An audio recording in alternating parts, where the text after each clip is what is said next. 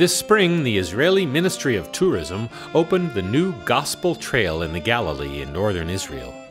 The 60 kilometer trail will allow pilgrims and tourists to walk, bike, or drive from Nazareth, Jesus' childhood home, to the shores of the Sea of Galilee, the center of his ministry. At the trail's start on Mount Precipice, we were lucky enough to have the Latin Patriarchal Vicar for Israel help bring alive the holy landscape with stories and readings. But passing through the midst of them, he went away. They wanted to throw him from the mountain to the plain because they didn't believe in him. Our group included seminarians from Domus Galilaeae, as well as musicians from Nazareth's New Life community.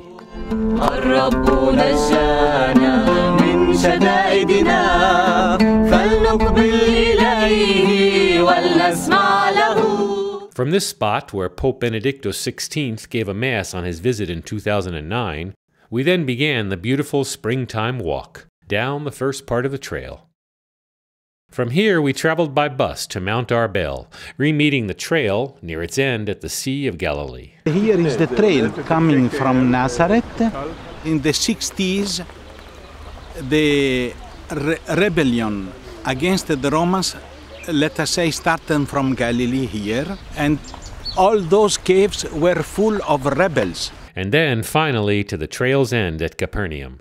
People who, who walk from Nazareth, from Mount of Precipice, here, it takes about three or four days, but when you come here with this special landscape, this atmosphere, it's really uh, give the inspiration at the end of the road.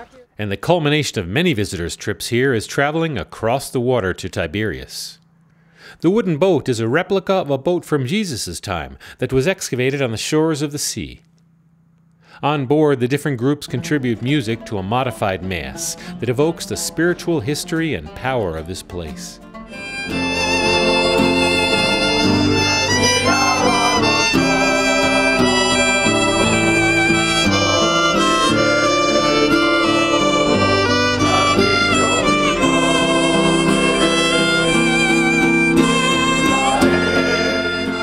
And Bishop Marcuzzo reads New Testament passages that recount the many miracles that Jesus performed here. And the great storm of wind arose, and the waves beat into the boat, so that the boat was already filling. And he awoke and said to the sea, Peace, be still. And the wind ceased, and there was a great calm he said to them, Why are you afraid? Have you no faith? And they were filled with awe.